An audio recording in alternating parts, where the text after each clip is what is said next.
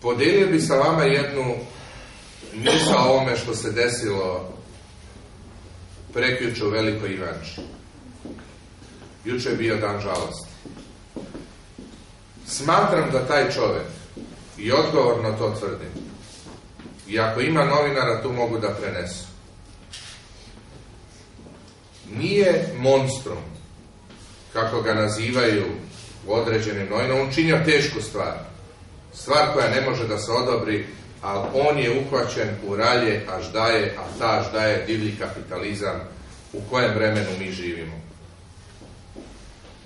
Taj čovjek je upao u te ralje daje najprije zato što je bio na ratištu. Pa mu je onda neko rekao i da nije ratovao. Pa taj čovjek više ne zna gdje je.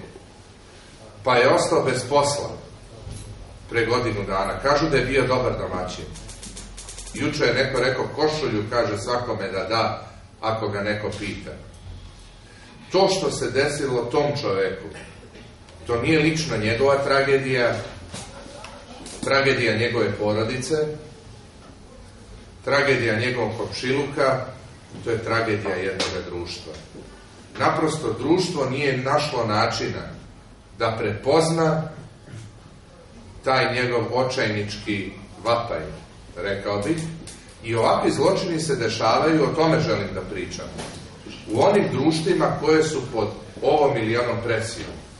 Zašto recimo u nekim društvima, kao recimo na Tajvanu, prilično daleka kultura, abstraktna za nas, nema ovakvih događaja.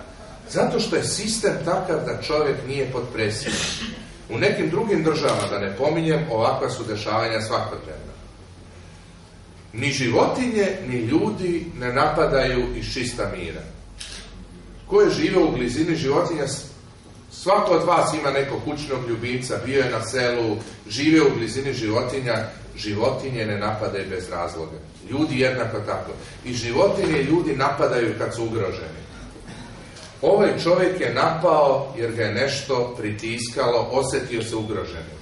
Dok iz okruženja ne dobijete posticaj, povratnu informaciju da vam prijeti neka opasnost, vi ne napadate. Problem je što mi danas živimo u sistemu, nažalost. Zato nije kriva ni ova vlada, ni prethodna vlada. Nismo dobili u nasljeđe jedan urušen sistem iz bivšeg perioda Jugoslavije, nismo napravili novi.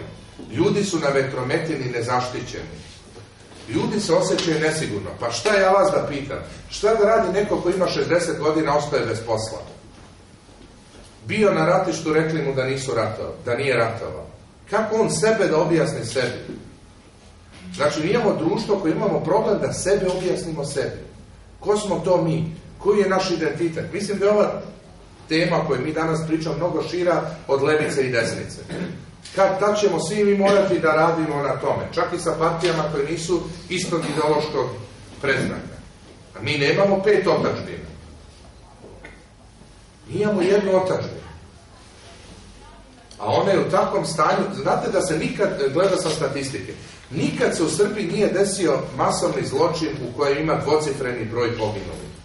13, ako izdahne ovaj čovjek, njegova supruga, bit će 15. Nikad se to nije desilo u Srbiji. Bilo je pet, bilo je šest, bilo je sedam, bilo je devet. Nikad nije bilo 15. To je nama danas glavni problem u državi. Kako da napravimo sistem i šta tu konkretno može Levica i Levičarske partije da se ljudi oslobode presije. Ljudi su pod pritiskom. Pola ljudi je kao na ekspres lonac. I zato ja ne volim da smo mi političari koji smo u skupštini jako žovijalni, popušteni, pa sad se zezamo, pa sad idemo po večerama, pa sad ne znam, idemo malo na bazen, malo u teretanu. Onaj ko to radi, izgubio orijentaciju gdje živi, u kakvoj zemlji živi. Znači ja želim da pričamo i da iskoristim to kao metaforu što se desilo u toj velikoj imači. Neko kaže zločin, ja bih rekao tragedija. To je tragedija svi u nas. Ono što mi možemo da uradimo kao političari, da oslobodimo ljude tog pritiska. Mijenjanjem sistema. Zašto je potrebna levica u Srbiji? Zato što je tu postalo normalno da svako grabi da gura pod sebe. Neko ne može da grabi. A šta će oni ljudi koji ne mogu? Znači sad je postalo legitimno use, nase i poda se. Jedno društvo ne može da opstane ukoliko mu je to glavna deviza. Nijedan narod, nijedna zajednica. Znači moramo nešto da žrtvujemo jedni za druge. Koji su konkretni koraci? Da ne pričamo sad abstraktno. Mi ćemo kad tad u Srbiji morati da menjamo izborni sistem. Da ljudi izađu na izbore sa svojim imenom i prezimenom. Da se ljudi izmere u komšiluku, svom komšiluku među onima koji znaju koliko vrede i teže. Znači, mi mora da se izvučemo iz negativne selekcije. Mi vrlo često imamo negativnu selekciju na mnogim nivoima. Pa to je ono što zna Dijana ko na fakultetima. Ima profesor, pa profesor postavi glupljeg asistenta, pa taj gluplji asistent kad postane profesor postavi još glupljeg asistenta, pa šta mislite kakav je šesti asistent u nizu? Ne da nije za fakultet, nego nije da bude učitelj od prvog do četvrtog. Znači, mi smo veoma često u takvim problemima. I ovo što se desilo je pokazatelj toga.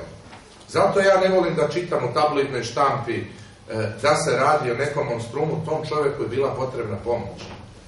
Znači, ako mi kao društvo ne nađemo način da pomognemo takvim ljudima koji su pod pritiskom, i ovo mora da kažem, ja nisam iz PUPSA, ja sam socijaldemokratska partija Srbije, ali lično mislim kao sociolog da su najugroženiji ljudi između 50 i 70 godina. Opet kažem, nisam iz PUPSA, ali ću biti dovoljno e, iskren da to kao sociolog analize. Najugroženiji su oni ljudi, mladi ljudi, mogu da trče posao, uče jezike, uče kompjutere, može da radi obezbeđenje, e, e, što se kaže, evo ovaj momak tu može volu red da iščupa. Znači, za njega nema zime. A šta će neko ko nema tu snagu, ko nema tu vitalnost? Znači, to je glavni problem i mi kao levica mora da nađemo odgovore na ta pitanja. Znači, u Grčkoj postoje levice različitih profila. Bio je onaj pasov koji je vodio Jorgos Papandreou, pa se on zatresao. Sad u Grčkoj postoji Siriza. Zamislite jedna nova levica. Neki tamo mlad, harizmatičan lider koji, da ne upotrebim teži izraz jedan narodski, ima petlju. Da ne kažem nešto drugo. Znači, krenuo je da pravi jednu levu opciju od koje ljudi vide da će biti neke vajde. Znači, nas ima mnogo i često smo podeljeni u više partije. Ali pred ovim izazovima vremena, sad pa i Evropa se lomi, vidite ovo na Kipru. Italija samo što nije. Španija, pitanje kako je tamo stanje. Portugal, ovi što ih zovu PIX, pogrdno. Znači, Evropa je isto u previranjima. I zašto danas biti e, pripadnik ne levičarske partije? Ne mora niko da bude član partije ukoliko ne žele. Zašto danas podržati levu ideju? Jer sve ide nama u prilog.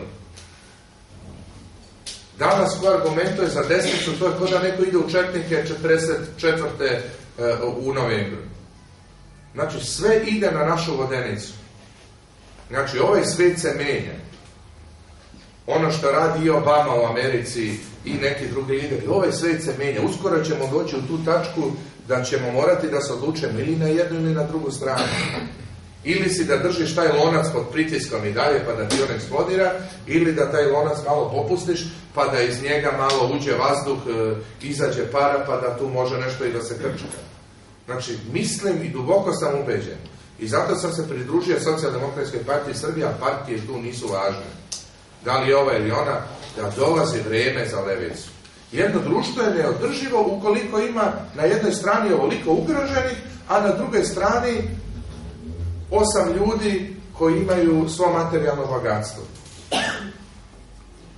Pa onda dođe Mišo Beko i kaže da bi tu uveo diktaturu kao što je bio Pinoče u Čileu. Malo morgen. Što reče jedan lider levice iz prošlosti. Šalim se. Znači, mislim e, da će kad tad društvo da dođe u tu prelomu tačku, jer ovako je neodrživo. I dozvolite mi da kao sociolog podelim sa vama e, e, e, jedan stav, da su pred nama dva rešenja. Demokratija ovakva nekonsolidovana, slaba, e, drma se, neodrživa. Mi ćemo ili urediti demokratiju, ili će se ona urušiti. 3, 4, 5, 6, 7 godina pred nama su dva puta pred Srbijom. Ovo tvrdim kao sociolog. Ne kao političar, ne kao poslanik. Ili ćemo ići ka nekoj socijaldemokratiji, možda je socijalizam previše tvrdi izraz za to, odnosno preraspodeli toga da osam ljudi ima sve, a da milioni nemaju ništa. To je jedno rešenje. Ili ćemo zaista da idemo ka toj nekoj diktaturi kao u Čileu, pa ćemo imati Pinoče ili Franka. Znači, stavite prst na čelo pa vidite koji put, jedan ili drugi. Društvo će da dođe u tu tačku jer je neodrživo ovako, e, ovako tavorenje negde između. Mi smo sad u interregnu. Niti vamo, niti tamo. Niti smo članovi Evropske unije, niti nismo. I ono što ljude najviše interesuje da znaju gde smo. Mi sad nigde nismo. Malo smo vamo, ali smo malo i tamo. Malo imamo Kosovo, malo ga i nemamo. Malo imamo kapitalizam, malo ga i nemamo. Malo je država u sveme. Znači, mora da definišemo sistem i da završavamo ovo moje izlaganje. Dakle, verujem da vreme za levicu tek dolazi, da sve ovo što se desilo prekjuče jeste možda zadnji stadijum jednog društva koliko može nisko da padne, a kada padnete toliko nisko kao što smo mi pali, tresnuli tako pod, samo je jedan put i to je put na gore, na bolje. Hvala.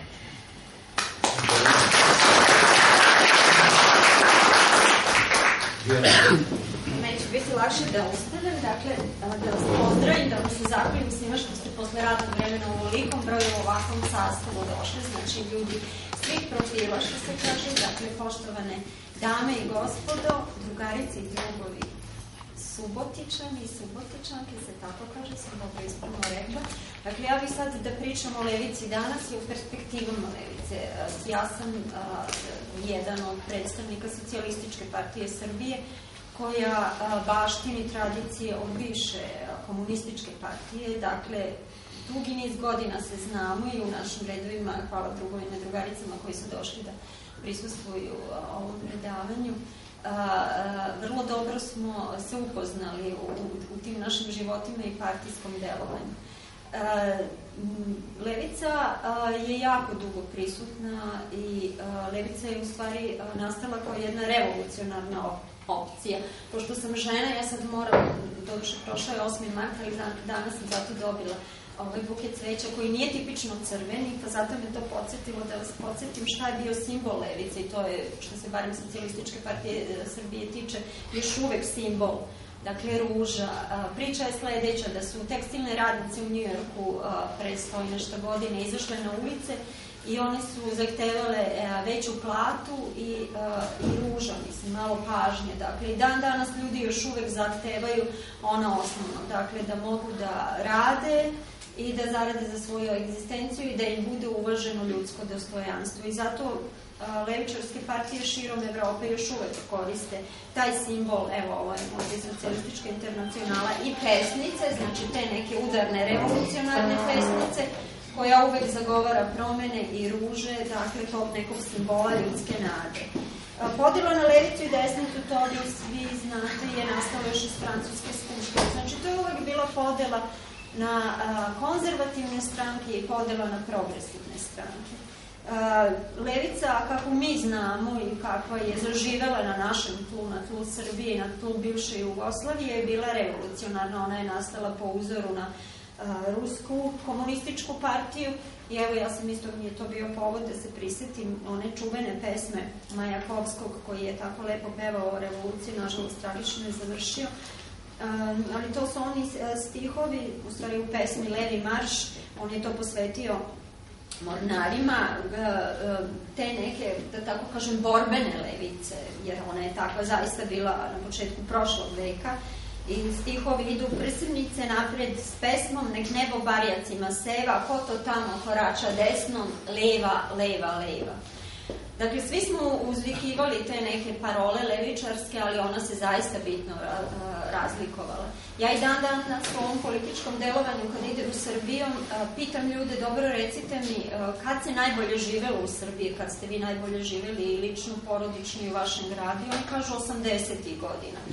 To je istovremeno bilo poslednja decenija bivšeg socijalizma, socijalizma sa humanim likom i mnogi od nas bi se menjali za taj standard života koji su imali tih 80. godina, ali tad je prosto bio talas u Evropi kad se urušavao socijalizam, pa je urušen u znatnoj meri i kod nas.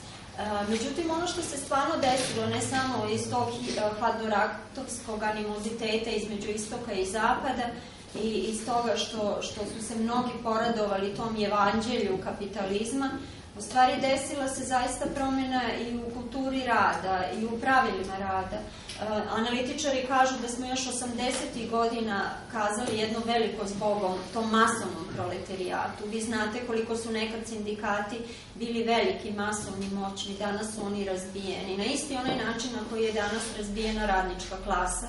I Levica zaista ima veliki problem, isto kao i bilo koja druga politička partija, kako da organizuje tu radničku klasu danas i kako da vaše i naše ekonomske i socijalne interese interpretira ekonomskim argumentima. I to zaista jeste problem, pogotovo u čitavoj Evropi, jer je sveopšta ekonomska kriza. Istraživanja pokazuju da su ljudi danas spremni da rade za malu platu, ali pod uslovom da im bude poštovano ljudsko dostojanstvo znači izgubio se taj odnos između poslodavca i radnika na kojem je toliko insistirala ona ranija levica, vi svi znate koliko su radnici imali prava glasa i koliko su mnogi od vas učestvovali i posle radnog vremena u nekom glasanju zato da bi se održao privid tog nekog odlučivanja i prava glasa na radnom mestu. Ali to je taj problem na koji ne može da odgovori kapitalizam, a to je da vi kao građani imate političko pravo glasa, znači vas pitaju na izborima, barem redovno političari, šta vi mislite o njihovom učinku i o kojim pravcem zemlja može ići, ali na radnom mestu poslodavac vas sve manje pita.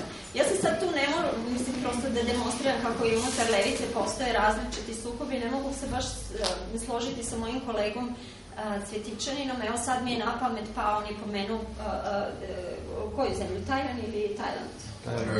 Tajland. Tajland, da. Ja se sad, evo, svi znamo onaj slučaj nesrećni koji je bio produciran kod nas u novinama, Rače, fabrike koji su kupili južnokorejci, gde su oni dobili velike državne subvencije, ali su jednostavno odmah rekli jasno radnicima nije dozvoljeno sindikalno organizovanje, Znači, to je jedna uspešna ekonomija. Južna Koreja je jako uspešna ekonomija, ali tu su čak radnici prijavljivali i neke slučajeve gde su ih poslodavci stranci, dakle iz Južne Koreje, tukli. Hoćemo reći, a, ta borba između kapitala i rada i dan danas u 21. veku je jako očigledna i ta priča levičarska o eksploataciji danas i tekako i tekako aktuelna, međutim više niko rekao se sad koristi prosto taj termin. Promenio se jezik levice. Ranije smo svi pričali da smo svi jednaki, da imamo svi mogućnosti da radimo i zaradimo prema potrebama, Međutim, i taj, taj uh, ideal levice je napušten i danas se govori o jednakosti šanse. Da ćemo imati sve jednake šanse za, za poslenje, da ćemo dobiti šansu da, dobi, da svojim radom, znanjem, kvalifikacijama zaradimo onoliko koliko je potrebno za život, ali vi jako dobro znate da ni nemamo jednake šanse. To pogotovo mogu da kažem i e, kažu mladi ljudi koji evo sede večera sa nama, znaju koliko je teško dobiti šansu za prvi posao stručnjaci organizacije za evropsku ekonomsku saradnju kažu da je to najveća socijalna bomba u Evropi, dakle mladi ljudi koji nemaju posla, oni postaju očajnici i spremni su na onaj bunt. Oni to kažu da će to imati snagu arapskog proleća u muslimanskom svetu. Dakle, taj socijalni bunt mladih ljudi. To smo već videli u Velikoj Britaniji na način na koji su se mladi siromašni, pogotovo imigranti, pobunili u Manchesteru, u Londonu, to smo imali širom Francuske. Znači, to su jako ozbiljne problemi, jer ovaj nivo nezaposlenosti u Srbiji od 24%, barem po statistikama, je mnogo veći u mladoj populaciji. To je armija nezaposlenih koji imaju znanje, imaju diplome, ali jednostavno ne mogu na tržištu rada naći svoju šansu. E, I to je sve problem levice. Problem levice nasleđen iz komunizma, konkretno iz socijalističke partije Srbije i drugih partije, što nemamo to da tako kažem, izgrađeno savezništvo sa sindikatima. Sindikati su razjedinjeni, znači oni se međusobno bore da dokažu svojom brojnošću svog članstva, svoju relevantnost. ne funkcionišu ti mehanizmi tripartitnih pregovora između sindikata, poslodavaca i vlade, znači to je jako teško. Unije poslodavaca su veoma moćne, bez obzira da li se oni otvoreno udružuju ili ne, ali to jesu moćni ljudi. Znači, te su ideološke borbe još uvek jako prisutne i znači ima smisla govoriti o levici i o desnici. Kad su se osnivale političke partije nakon pada komunizma, pitali su stručnjaci, pa dobro, recite nam kako vi sebe vidite kao socijalističku ili socijaldemokratsku partiju, šta vam to znači? I Poljaci domišljati su rekli, pa znate, mi smo u stvari zapadno u centru. Znači, gledamo na tržišnu ekonomiju kao na jednu šansu da se poštenim radom zaradi dovoljno plate za dostojanstven život. Međutim, problem je što kod nas nisu dovoljne meri konsultovani gastarbajteri. Vi ako imate svoje rođake koji su radili u zapadnoj Nemačkoj ili nekim drugim zapadnoevropskim zemljama znaju, znate koliko je bilo teško zaraditi svaku nemačku marku, znači koji je to, neću reći robovski rad, ali zaista jedan jako mukotrpan rad da bi se a, zadovoljio i kapitalista, znači da on može da ostvari profit, a time i da se postigne visok nivo produktivnosti. Takođe se promenila i ekonomija, sad se priča o reindustrializaciji u našoj oštećenoj zemlji koja je bila izolovana i pod sankcijama i koja je bombardovana, zaista je teško pokrenuti industriju. Uh, vi znate, nad vama je u stvari, nad vašim uh, porodicama izvršena ta vrsta eksperimenta komunističkog, da su mnogo ljudi sa sela pokrenuti da dođu u grad, u gradove fabrike, Međutim, danas ljudi žive osiromašeno u gradovima i u predgrađima i to jeste demografski trend u Srbiji da ljudi sve više napuštaju selo zato što tu je nemoguće preživeti i dolaze u grad i životare na obodima grada, da tako kažem. Uh, I zato, barem mi unutar socijalističke partije Srbije, mislimo da ta preduzetnička inicijativa Znači, mala i srednja preduzeća mogu da daju puno bolje rezultate nego neki veliki industrijski kompleksi koje je jako teško obnoviti i jako teško pokrenuti. Uh, ono što sam htela da vam kažem putujući po Evropi, susreću se sa, sa kolegama, danas je bila Ovih dana videli ste na televiziji delegacija i francuskog i nemačkog parlamenta i tu su bili ljudi iz različitih političkih opcija i oni isto svedoče koliko imaju velikih problema, koliko se rećemo građani Nemačke naročito zasićeni sa ovim ekonomskim problemima apropo Grčke ili nekih drugih zemalja. Dakle, Nemci osjećaju da plaćaju visoku cenu te Evrope samo zato da bi se neka radna i ekonomska kultura nekih problematičnih zemalja promenila. I to jeste je zaista realan problem. Vi sami znate, i to se otvoreno tematizira, da se po prvi put dešava da Vojvodina zaostaje za Beogradom, za ovu, obično ste vi imali uvek veći standard, bolju produktivnost rada. Znači, obično ta je podela između severa i juga sad a, dolazi na vašu štetu, jer vi ste znali za puno veći standard života i sad je to zaista problem a, i osjeća se ta kompleksnost da Vojvodina po prvi put zaostaje. Znači, to su sve neke pitanje i izazovi za levicu. Sad ja mogu na prste jedne ruke, osim naše socijalističke partije, kolegine novoosnovane partije, socijaldemokratske partije Srbije, Čankove partije, mislim ja afirmativno govorim u ovom trenutku i zadovoljna sam da, da Levica ima raznih opcija u Srbiji. Moramo da ih Dobro, Dobro. takođe. Socialdemokratska partija Vojvodine, ali evo na broju ću sad reći ću pomenući i petu opciju, to je Socialdemokratska unija Žarka Korača, koji je profesor psihologije, ali njegova partija je najdalje otišla u učlanjenju u socijalističku internacionalu, a da nije relevantna partija, minorna je partija, ali zato evo kao što je isto za šok za mnogi od nas bilo učlanjenje demokratske partije, tada Đinčićeve, uh, u socijalističku internacionalu. Uh, hoću reći, ponekad ljudi uh, jednim uh, očima gledaju neku političku partiju pa sasvim budu iznenađeni kada ona u javnosti odjednom tematizira neke teme koje biste vi svrstali u neki drugi ideološki tabor. Uh, ali zaista borba ideja još uvek postoji. U Evropi se trenutno vodi velika debata između ekonomskih stručnjaka, ne samo političkim, hoće li se krenuti na ovu politiku štenje, znači restrikcije a, izdavanja javnih troškova, znači smanjenja tih socijalnih transfera, socijalnih davanja na uštrb standarda građana, pogotovo siromašnih ljudi, a, da bi se konsolidovao budžet javne financije ili će se više investirati u neku potrošnju. U politici onako, koliko imate para, toliko imate ljudskih prava, koliko ćete vi kao radnici, kao profesori, kao studenti, kao medicinske sestre, kao lekari biti organizovani prosvetari, da vršite pritisak i da zahtevate veći deo od iz budžetskog kolača za vaše interese, ekonomski interes ili profesionalni interese, to ćete dobiti. Dakle, ljudi su prilično ostavljeni sami, imate sindikate, imate političke partije, imate lokalnu vlast, imate nevladine organizacije, taj takozvani uh, civilni sektor, imate humanitarne organizacije, sve su to prostori za jedno uh, delovanje, naravno i crkva i crkva može biti veoma moćan faktor, razne crkvene uh, organizacije.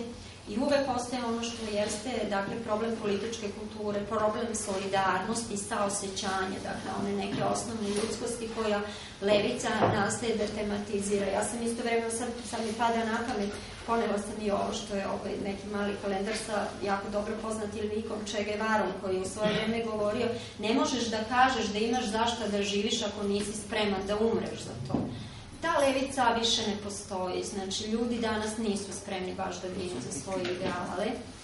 Nekad su levičari išli da ratuju u Španiji, ja ne znam ko bi sad od nas se dobro najavio da ide da ratuju za neke ideale uh, udaljeni kutak sveta. Evo ja.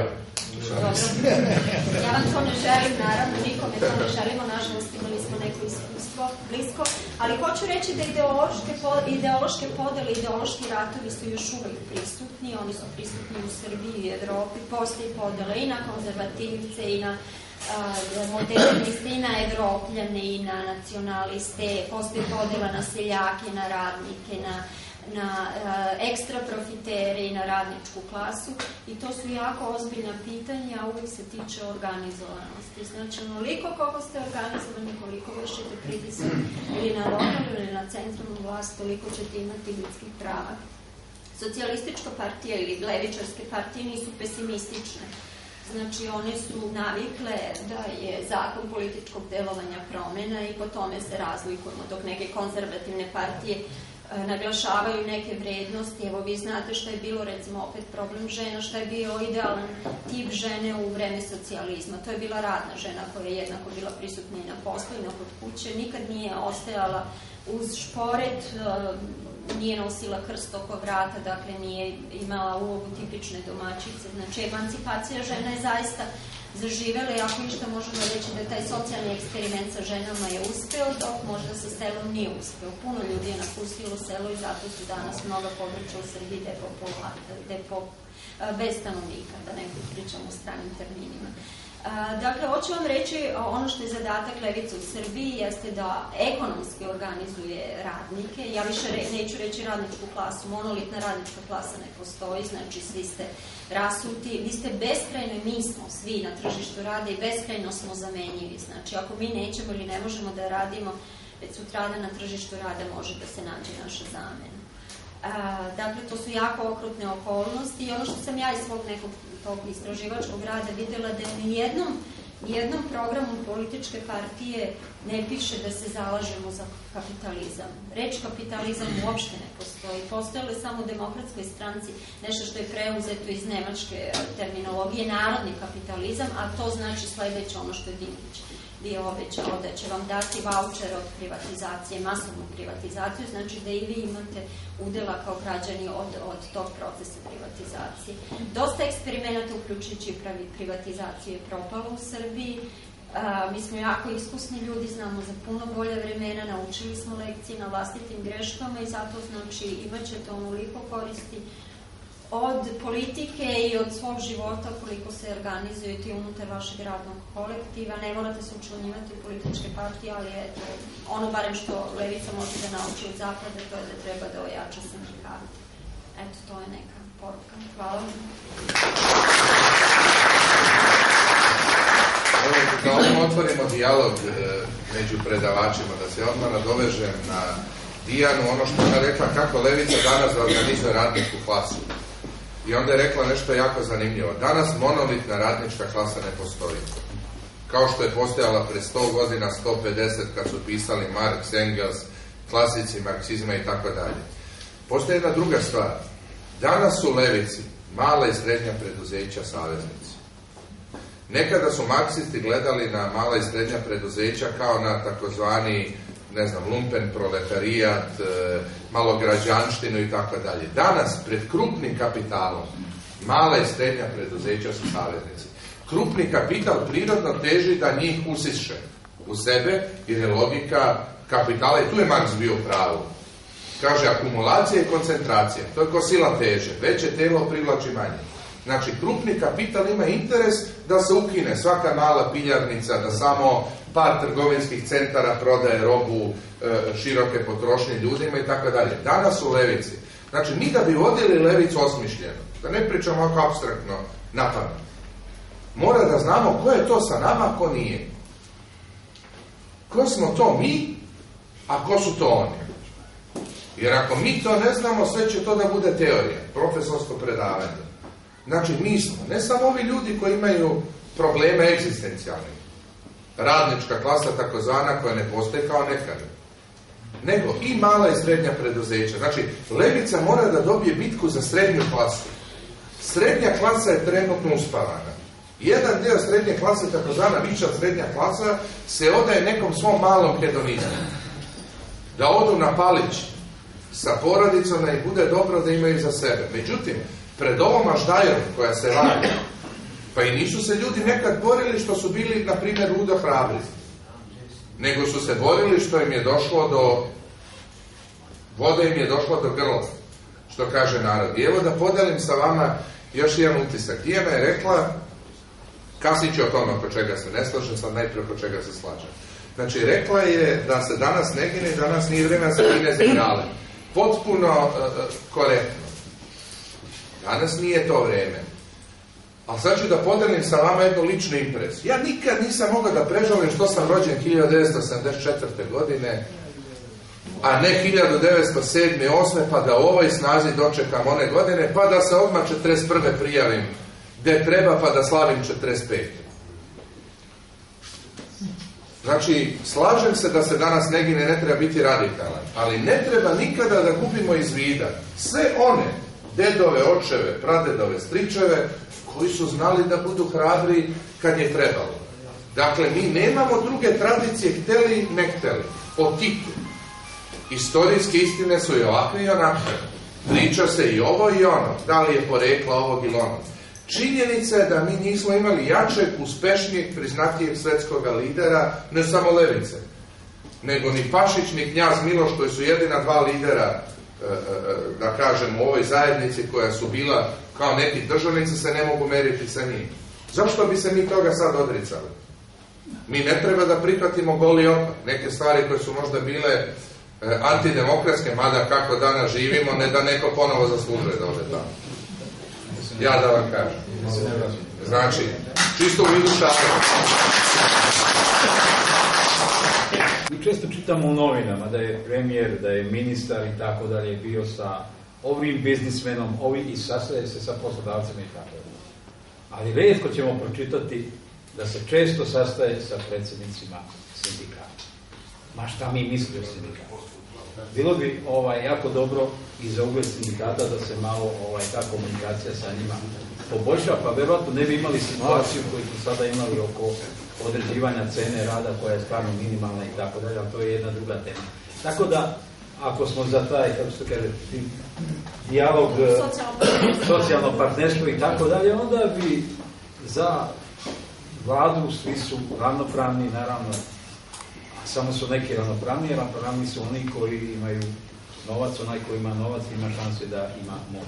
Tako da mislim da bi mogla biti malo a, sa sindikatima se sarađuje samo onda kada treba da daju podršku, kada je neka nevolja, pa ajde sad odustanite od ovoga. Ne, ne govorim ja sada ne govorim šta se dešava.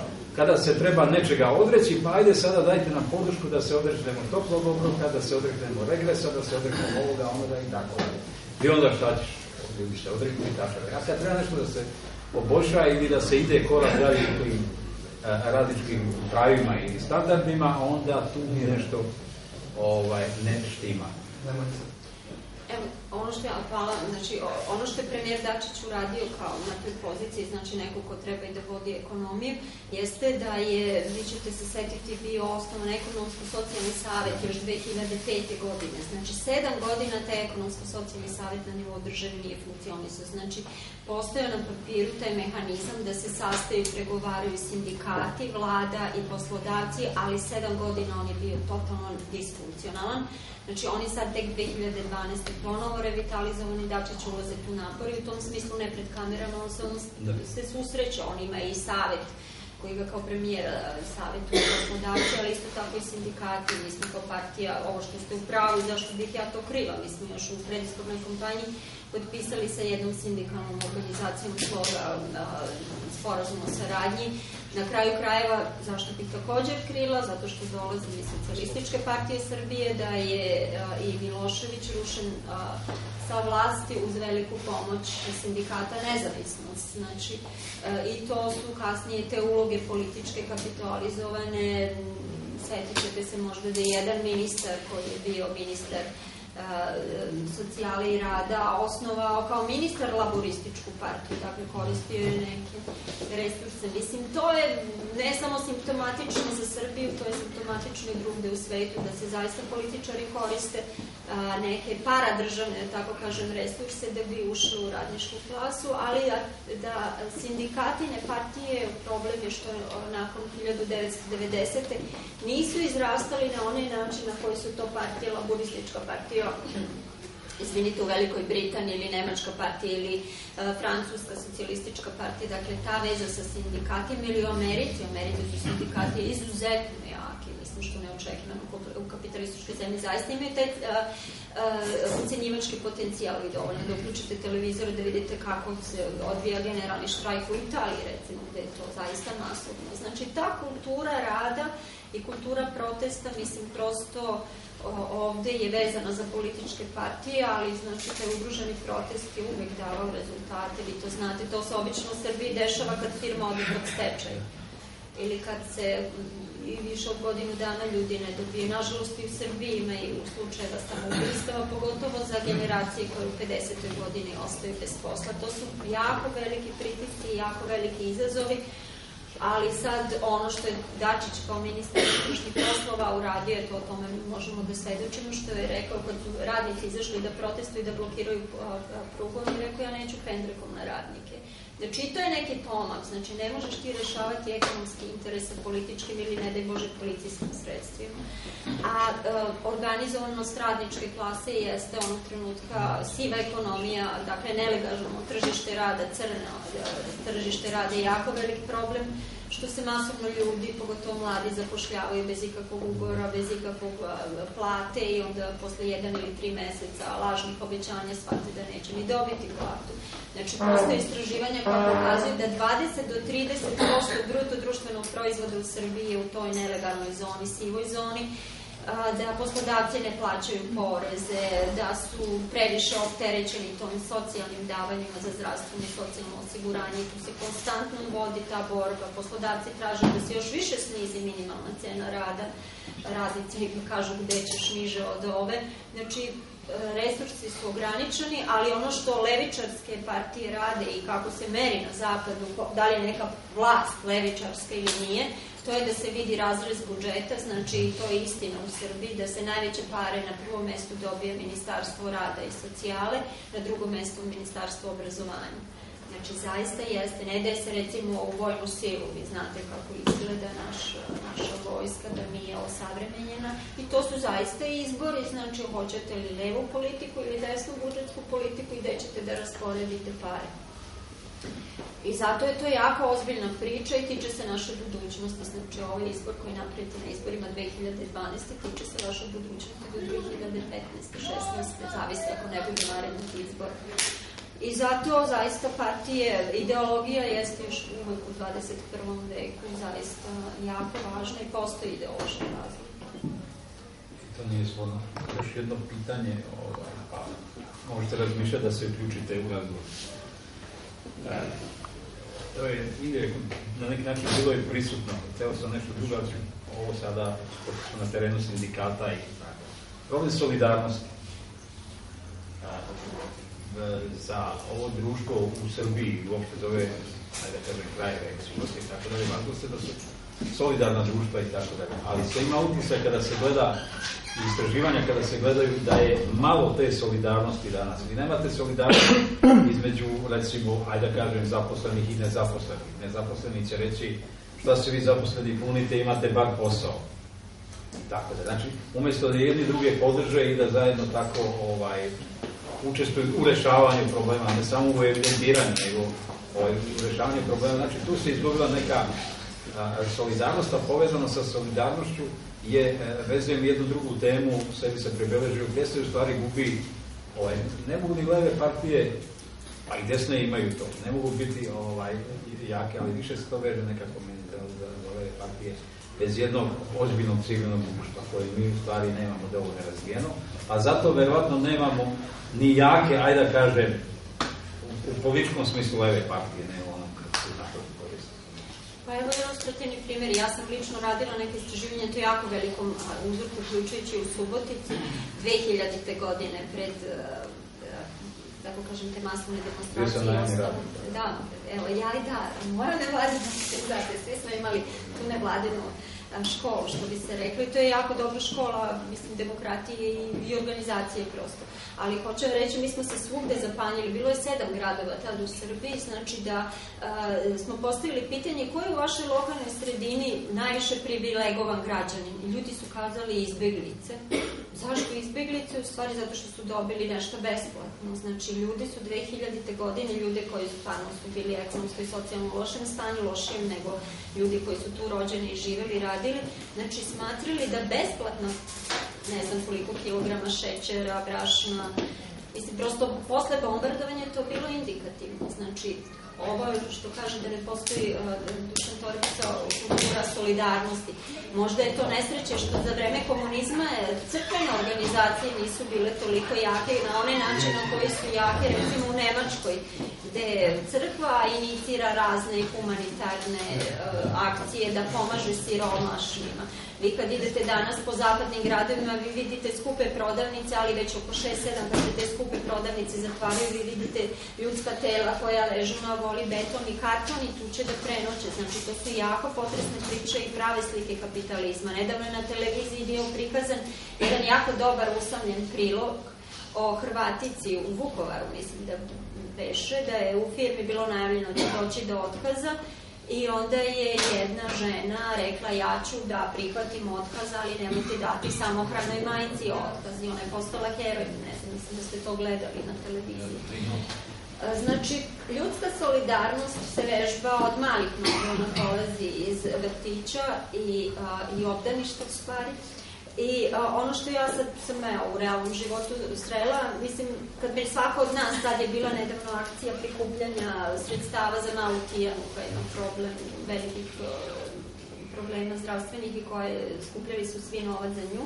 Ali recimo, sami sebe ako preispitate, bez obzira koliki su vam prihodi, da li biste ikad pristali da jednu trećinu, jednu petinu svojih prihoda date u humanitarne svrhe na, na mesečnoj osnovi. To su jako teški izbori, ali na taj način se stvarno čovek vežba da se odriče, to su pravi testovi ljudske solidarnosti, naravno ima herojskih i usamljenih dela. Ali zaista ta solidarnost onda ojača društvo na jedan način. Kolega Cvetićanin je pomenuo budističku religiju, hrišćanska religija bi trebala takođe da bude solidarna. Znači sve su to mali ljudski testovi za sve nas.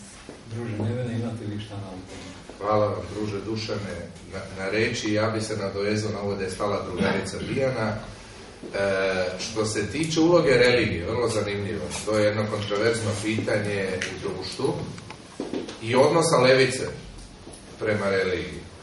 Znači, komunizam ima odnos prema religiji kakav ima. Drug Marks je rekao da je religija opijum za masa u jednom od svojih čuvenih dela i toga su se doktrinarno držali kasnije i Lenin, i Stalin, i Tito i svi koji su izašli iz te škole mišljenja. Ja lično mislim, nisam naravno neki religiozni fanatik, da je bilo pogrešno što je komunizam religiju stavio nasuprot sebe. On je to možda morao da učini u tom vremenu, jer je crkva tada bila još ona stara crkva, nereformisana i borili su se za iste ljude, dve društvene grupe komunisti i da ne kažem sveštenstvo i oni su morali po logici da ratuju. Čak je tu bilo neke logike suprava.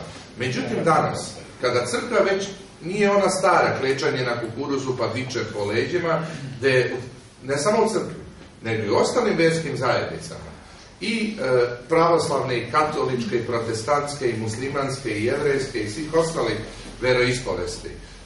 Dolaze mladi ljudi, znači ja vidim taj impuls religije koji je sličan impulsu, ako hoćete, socijalizmu. Impulsu levice, da ljudi budu solidarni. Da niko nije sam. Upravo ovo. Znači, e, šta kaže neoliberalni kapitalizam? Svako je za sebe kao čovek čoveku vuk. Pa ko će koga zavrnuti, narodski rečeno? Šta kažu i religije, i socijalizam, i ovo što može da bude socijalizam 21. veka? Pa nismo mi sami. Znači, nijedan čovjek nije ostrvo. Između svakog čoveka i društva postoji most. Pa ako i nema most, daj da napravimo taj most, da bude tu e, e, most, na primjer.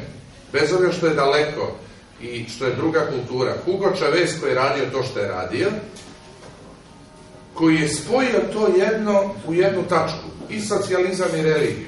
Znači, e, kad kaže e, Dušan, drug Dušan, ovaj, o ulozi građanskog civilnog društva.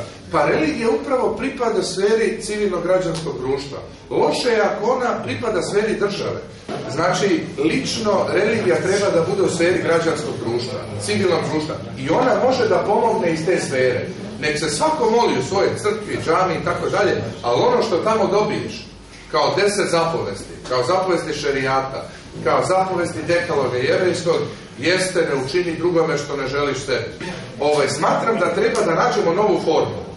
Da više stare formule ne važe u vremenu u kojem živimo i da mora da nađemo novu formulu šta je to levica danas, šta može da bude socijalizam ili socijaldemokratija za 21. vek i da znamo da nismo sami. I kako društvo treba da izgleda. Tako je. Da bi mogli biti kažem, pitanja koje nismo govorili, da danas socijalizam postoji na svetu, postoji on u skandinavskim zemljama, znači Švedska, Norveška. Nedavno sam bila u Norveškoj na način na koji socijalizam postoji. Tamo su doneli uredbu i mi smo pitali, prosto smo se čudili da li je to moguće, da recimo žene e, po zakonu je obavezno ne samo u, da tako kažem, državnim, dakle u tim javnim kompanijama, nego i u privatnim kompanijama, dakle isključivo kapitalističkim, 40% žena mora da bude u upravnim odborima, a tamo su plate u upravnim odborima jako velike. Znači, kad vi možete... To je već diskriminacija. Ne, ali tamo su žene i premijeri i ministri u puno većem broju, ali to je taj neki socijalizam, egalitarizam i tamo muškarci također žena ima pravo na porodiljsko odsustvo, ali godinu dana kao i kod nas, ali da bi dobijala socijalna davanja od države koja su isto izdešna, njen suprug, odnosno partner, venčani, nevenčani, mora također tri meseca da bude uz novorođenu bebi. Znači, to su ti neki ideali, ali Norveška može sebi da dozvoli taj luksuz, jer isto kao i Hugo Chavez ima šta, ima naviku. E, dakle, još da samo pronađemo nastavno, da ćemo ovde biti puno bolji ljudi.